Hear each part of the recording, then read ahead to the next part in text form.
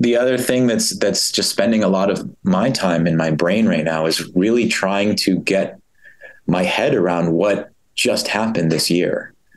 And what just happened this year is new and and different for humanity about AI and and its its new and improved roles and abilities to enhance and enable um, and also change our relationships to our patients, to our knowledge, to our jobs, um, and so on. And I think that there's there's the fundamental um, new role uh, that AI is is taking on. You know, I, I spoke about this at AAN that, you know, in in a level one world, AI looks interesting and it might be helpful. And there was an exponential growth in in papers about, hey, look, AI can do this, and hey, look, AI could do that. And hey, look, it can do this is not the same thing as go use this in clinic because it hasn't been validated. We don't know if it generalizes. It maybe only works in this data set that I tried in this special way, and it's only in my hands because I'm so good at it, whatever. And that was level one. Level one is AI might be helpful. Level two is AI is helpful. And I think that this year we've transitioned over from a, world where AI might be helpful for neurology to AI is helpful right now. And it's helpful in ways that I don't think people fully appreciate yet. You can go online right now and use the the Microsoft OpenAI's GPT-4, which is the the next generation of GPT uh, ChatGPT, and you can ask it a medical question, and you can ask it as a patient. You can say, "I have this and this symptom, and it's bothering me because this and this and this, and this is my background." And if you ask it in the right way, it will provide you with fantastically accurate and helpful, useful medical advice. Now, does that mean that you don't need a doctor anymore? No, you need a doctor. But the information you get from there is going to be so much better than just doing a, a, a web search that we've done up until now, the Dr. Google I mentioned before, that there is going to be a new level of, of an information parity, meaning the difference between what patients know and what doctors know is about to change incredibly uh, because now patients will have access to extremely um, detailed, accurate, and up to date information that they never had access to before.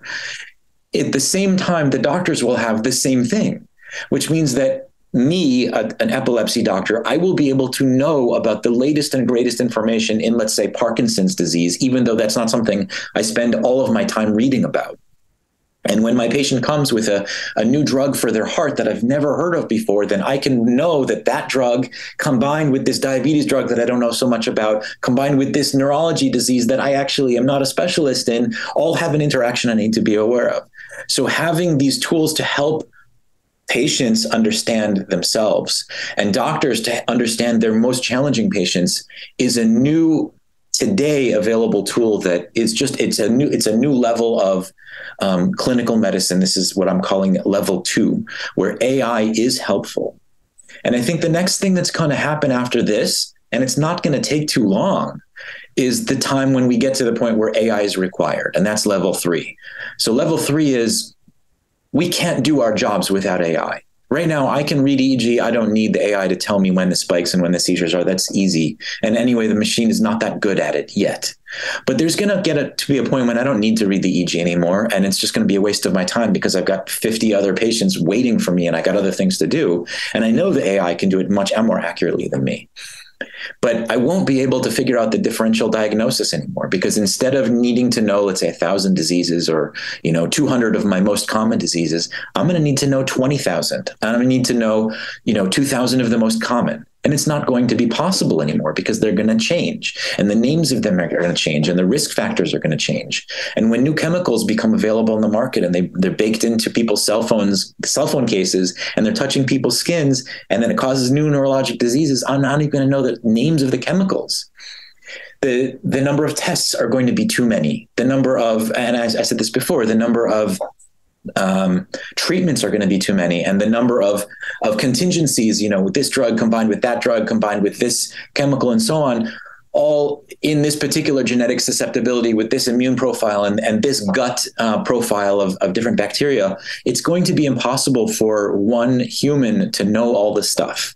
And even if they did, two days later, that information is going to be outdated. And so we're going to need AI in that in that world. And in a world when we need AI, some people say that means that there's no doctor, there's no need for you know a human, and it's not that's not what level three is about. That's that's about a world where there is a doctor and you need them but they're going to need the ai to help them. In the same way that when i have to do hard math i pull out a calculator or i pull out a, a computer program and i still do it. I'm still the human driving the ship but um, I don't care that I don't know how to multiply 10 digit numbers with 10 digit numbers and then take, you know, the 14th uh, root of that. It's not important that I can do it. It's important that I have a trustworthy tool to do it. And that's where AI is going in level three. And then the last thing is what happens next? What happens when even the stuff that I'm directing the AI can do, um, the AI can do? Well, then, then we've got this level four, and then level four is wow, that's very strange. But that's going to be when I have multiple patients that are being directed by AI and I'm the director of the AI. So that's like um, having a bunch of nurse practitioners in my clinic doing things for me. But when things get complicated, then I step in. And I think that that is that's the direction neurology is heading. We're going to a world where AI is integrating so deeply into the fabric of what we do that what we do is not going to look anything like what we do now. And today we've entered level two.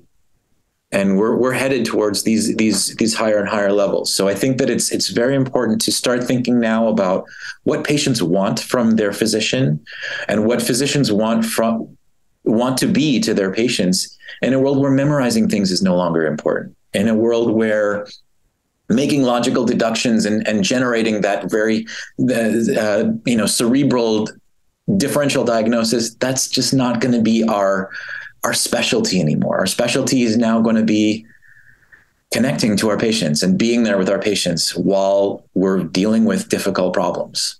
And so, so it's it's a, it's a very very interesting moment to live in, and it's a very important moment for us to all think about what we want, and and what we we should be asking our leaders, our, our regulators, and and our companies. What what should we asking them for? What do we want?